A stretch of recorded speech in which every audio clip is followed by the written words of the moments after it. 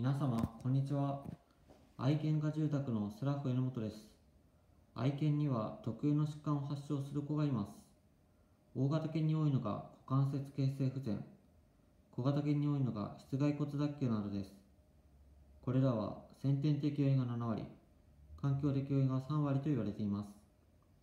環境的要因は愛犬家の皆様によってリスクを減らしてあげることができます。環境的要因として挙げられるのが愛犬が足を滑らせてしまうフローリングの床。こうしたフローリングの床には床のコーティングがおすすめです。床のコーティングならセラフ榎本にお気軽にご相談ください。さて、愛犬丸抜クイズです。肛門腺絞りはシャワーの一番最後でやるのが良い。答えは×です。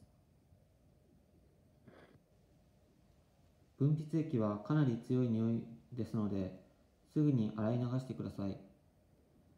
飛び散った液体が再び紐についてはいけないので、肛門腺絞りはシャンプーをかける前に行いましょう。以上で愛犬丸抜クイズを終わります。皆様方のワンちゃん、猫ちゃんのための家のリフォームや増改築等ございましたら、お気軽にご相談ください。